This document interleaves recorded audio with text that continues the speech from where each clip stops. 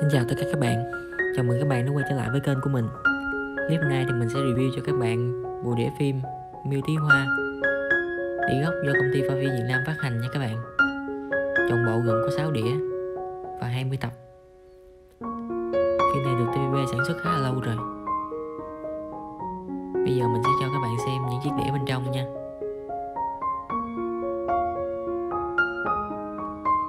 Bộ này này được in ấn khá là đẹp.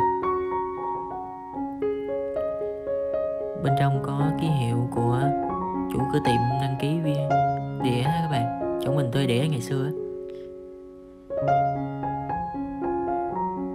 và có thêm cục điện ảnh nha các bạn.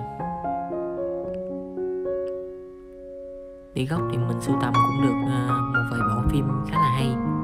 Và mình đã có chia sẻ tên kênh của mình rồi. Các bạn nào chưa xem thì có thể vào kênh mình để xem nha. Mình có đăng rất là nhiều video ở trên đó mình xin kết thúc video tại đây nha các bạn.